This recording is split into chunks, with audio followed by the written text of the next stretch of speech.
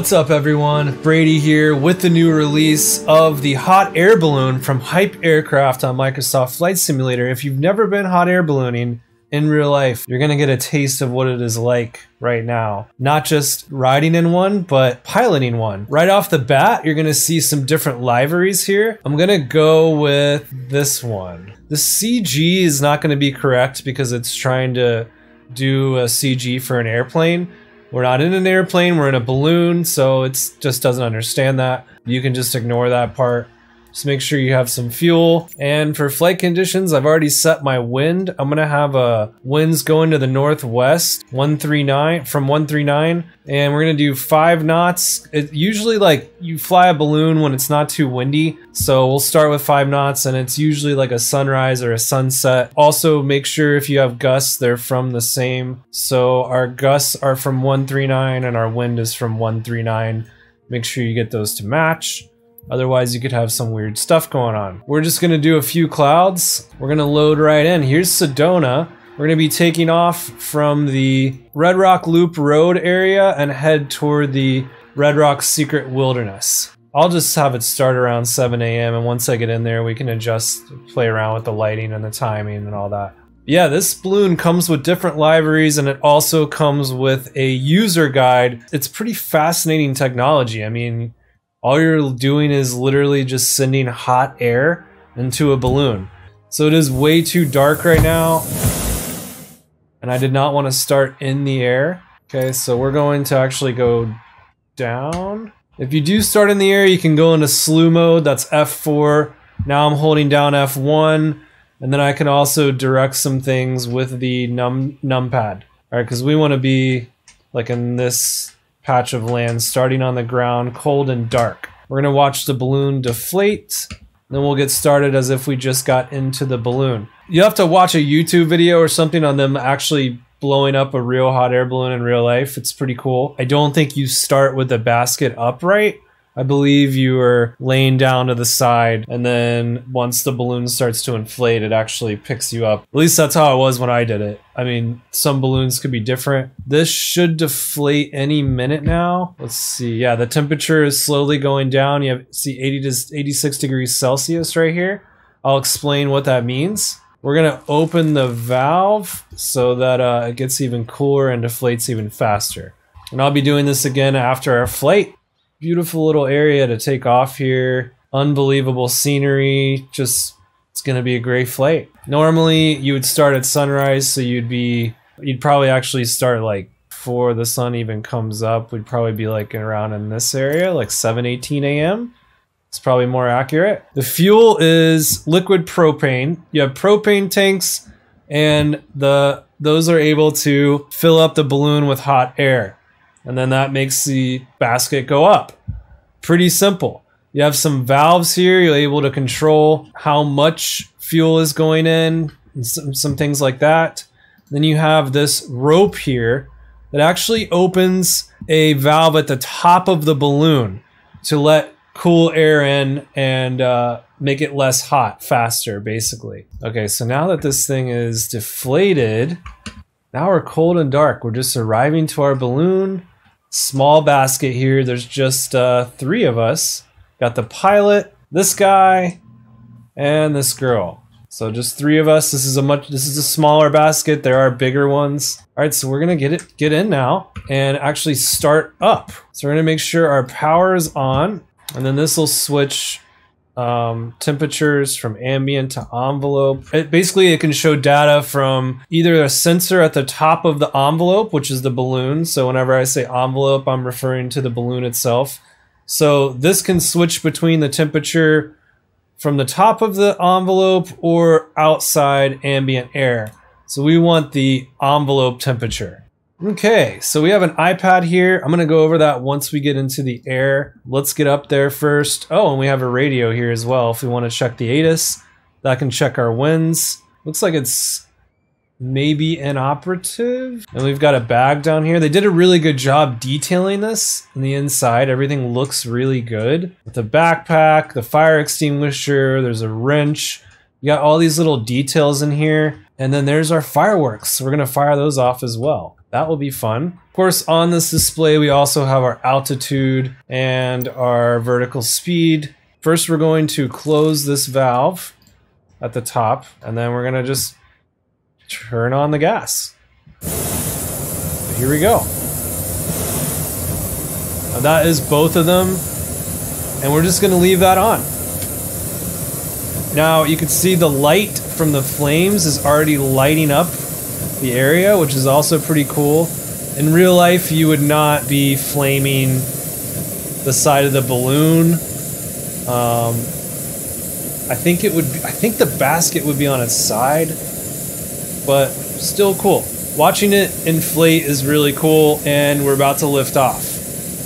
Once there's enough hot air in there, the balloon will start to move and simply lift off the ground. There it goes. Now it's lighting up lot of the inside of the balloon as well. It's very cool, and we have liftoff. Now we do want to keep an eye on that temperature. See, I exceeded the temperature. You don't want to do that. You don't want to go to 175. So um, I got distracted with the camera view. But basically, you just don't want the envelope to get too hot, so you need to cut off the fuel. And you give balloons fuel in increments, you know, so you turn it on when you need to, and then pull it off when you don't. When the, what's interesting is when it's not being fueled, it's so quiet and peaceful in a balloon. It is the most magical thing because you are actually going the same speed as the wind. Let's see, there's not much wind right now. Why does our wind change when it loads up? See, now we got to put this back to the northwest like I had the wind set in the menu and then it loads wrong. We'll do we'll do like four five knots of wind and then as the sun comes up we might add a little bit more wind because that generally happens in real life. Anyway, now that we're going the right direction, when you're not uh, adding fuel it is very quiet in a balloon because you're going the same speed as the wind. So it's very interesting and real life, extremely euphoric experience because it's you're like it's silent up there. So even though you're a thousand feet off the ground, 2,000, 3,000, 4,000 plus feet high, you hear nothing and you're just in complete silence, just floating in the air because you are going the same speed as the wind. So you don't hear or feel any wind. It's absolutely wild. That effect you will not feel in the simulator, but everything else you can get a pretty good idea of what it's like to pilot one and what kind of planning would have to go into this because there's quite a bit of um, meteorology you would need to know for ballooning. One thing that's very interesting as well is pilots are actually aware of the different levels of wind while the winds may be one direction at a thousand feet, they could be very different at 5,000 feet or 10,000 feet. So they are able to use this to kind of steer the balloon a little bit if the winds are different aloft. They can go to different altitudes and that will help keep them on whatever course they want to be on. So pretty interesting stuff. While I'm waiting for the temperature to drop, we'll just take a look at this beautiful view here and we're now facing downtown Sedona. Last time I was there, I actually saw hot air balloons up in the air, and uh, now I'm getting to pretend like I'm doing it. All right, I'm gonna make myself a little smaller here on the screen. Ballooning goes all the way back to 1783 was the first successful human carrying flight. And November 1st, 1783 was in Paris, France. So hundreds of years now um, this this goes back. Fascinating way to travel. Some of you have probably seen the movie Up, one of my favorite movies, and it's just very adventurous and romantic. As the sun is coming up, we're getting more and more light. However, if you are in the dark, you can always hit Alt L and use your pilot headlamp.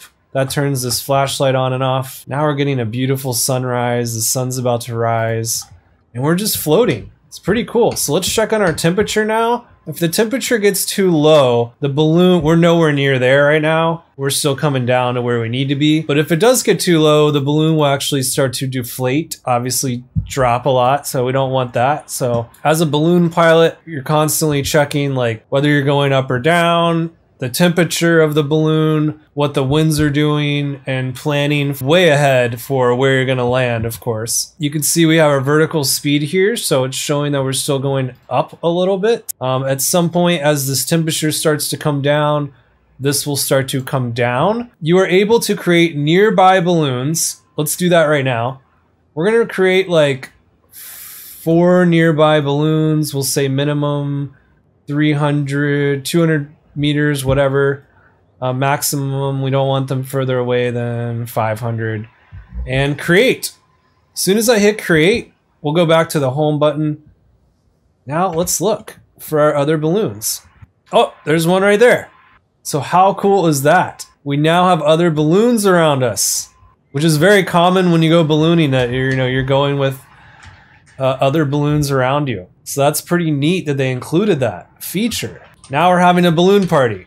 Okay, now that we've done that, let's go back into the iPad. Not sure what Flappy Bird is. Looks like it's a game you can play, very random. Um, I guess if you get bored and your balloon, you can play this game. so I don't know what happens if you win. I haven't done it yet. Then you have a little Little Navmap, which you can connect to little nav map you also have maps here. It actually shows me where I'm going. So that's pretty cool. I mean, this GPS works really well. We're in the middle of Red Rock Loop Road, which is a common place for this company in Sedona to launch their balloon, headed northwest toward Red Rock Secret Mountain Wilderness. So there's your GPS. That's really cool. Aircraft setup, you can change um, your clock time reference, clock time format. I like 24 hour, and then you can change if you just want four fireworks or you want infinite amount of fireworks. You can also change your temperature units if you want. I got to keep an eye on. I'll show you the other thing that's there, but I got to give it a little gas here because we're getting a little low on our temperature. We're probably starting to come down now. Yeah, if you look at our vertical speed, we're actually starting to come down now at 81 degrees Celsius. So I'm going to give it a little more fuel here.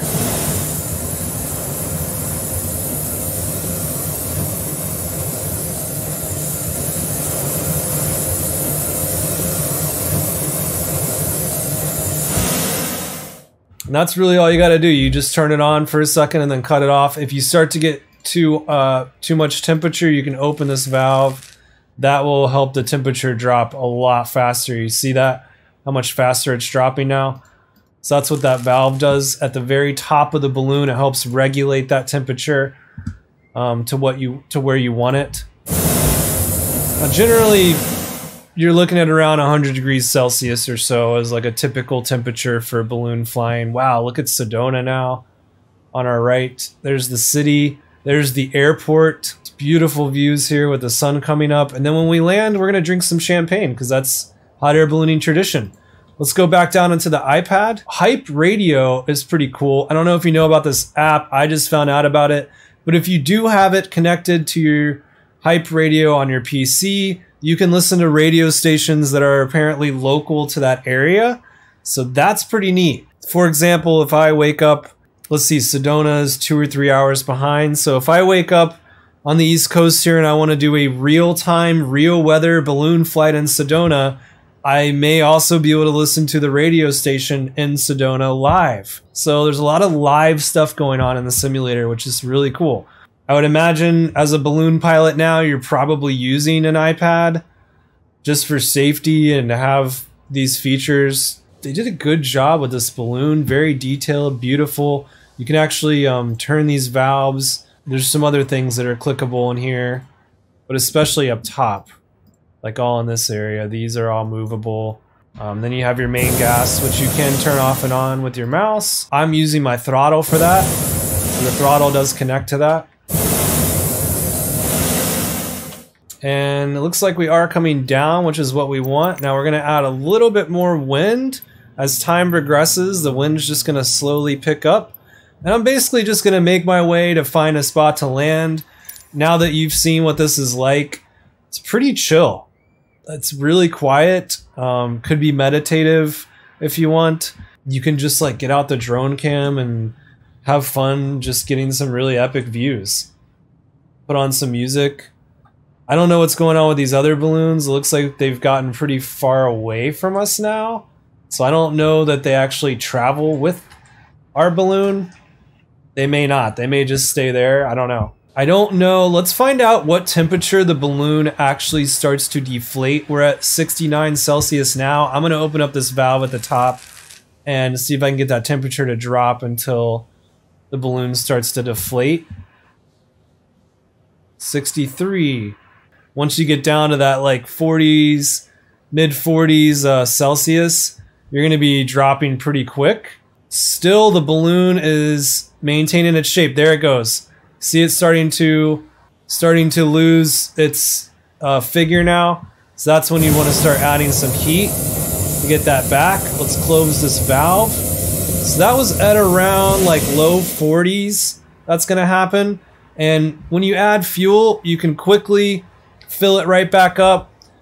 You just do it in, in little spurts here. Now we are losing about what 500 feet a minute. So yeah, we're dropping pretty quick. It's pretty cool how much control you have. The one thing you can't control in a balloon is steering. You're obviously going the direction of the winds, or you can go to different altitudes if you know the winds aloft and what the winds are doing. Then you can maybe change directions with different winds. But uh, you're really planning your launch and your landing site based on what the wind's going to be. So now we're starting to get like pretty low.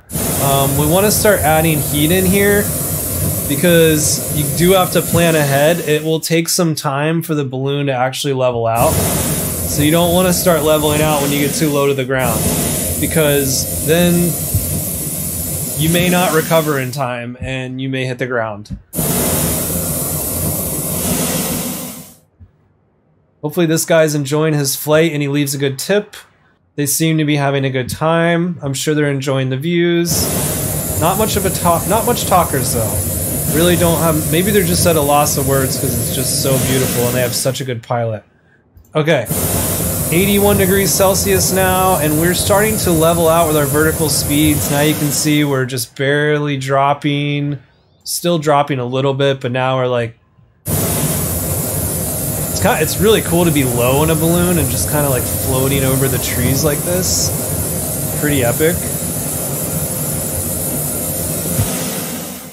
I want to see if I can control like the amount of fuel going in.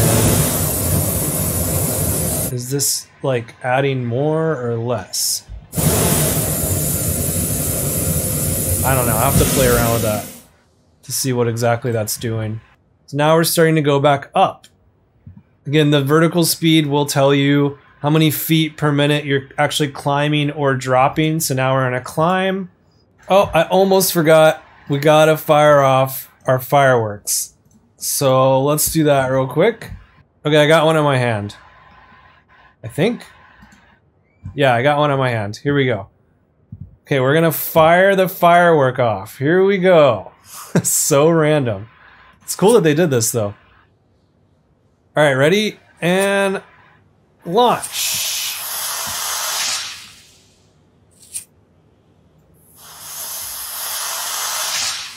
Wow, that's cool. Okay, that's pretty neat. I guess it's cooler at night. We're starting to come down to land now. Whee! So it does shoot. So it shoots a few off. Alright, and we are coming in for landing. Probably the hardest part as a balloon pilot is finding a place to land where you're not going to hit anything. I mean, these guys know what they're doing. They do it all the time. But do I know what I'm doing? No. Probably need to go up a little bit. But see, like, I don't know if Microsoft Flight Simulator is... It could be, like, rendering a bunch of trees that may not actually be there in real life. I don't know. I'll do the best I can to find a place. I just love how we're just like floating above the earth right now. Pretty epic. So you could always go up a little bit. Looks like if the wind was just a little bit more to the west, we would be golden. Let's go to like 83. There we go. Alright, I think we might have a good place to land this way. Just just changing the wind. Can't do that in real life. Obviously, balloon pilots would really have to know the landscape well of where they fly and like know the area really well. What's really cool about this part of Sedona is there is some dispersed camping in here, like BLM land. And if you watch one of my videos from a couple years ago, Kristen and I stayed right in there with a van, right in this area. Really neat area. Okay, here we go. We're coming in for landing. I'm going to open this up. That's going to make us drop more. Perfect landing, my friends. Right in this, we're going for this gap right here.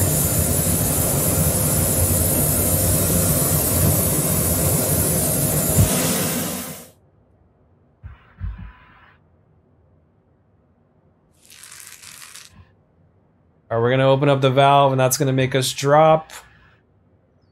Okay, perfect. Alright, here we go.